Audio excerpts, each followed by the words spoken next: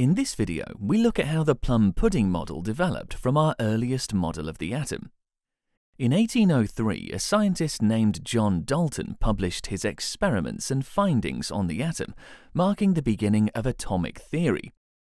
His theory stated that all matter is made up of extremely small, spherical particles called atoms, which cannot be created, destroyed, or divided into smaller parts that atoms of a given element are identical in their physical and chemical properties, and that atoms of different elements differ in their physical and chemical properties.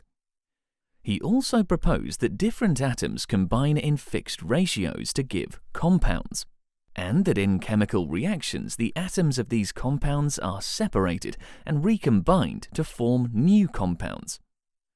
The solid sphere model prevailed for 100 years until 1904, when J.J. Thomson made an important discovery that atoms contain negatively charged particles.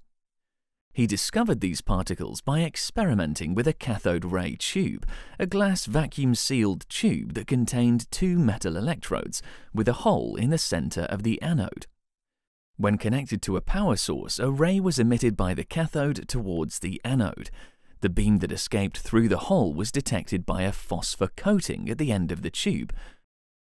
When oppositely charged plates were placed above and below the beam, the ray would bend towards the positive plate and away from the negative plate.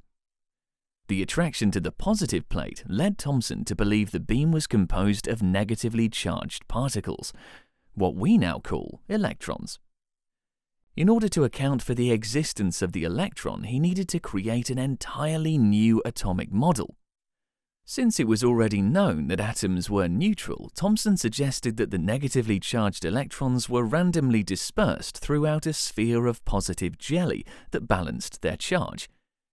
He imagined electrons embedded in the positive sphere like pieces of fruit inside a pudding, hence his theory is called the plum pudding model.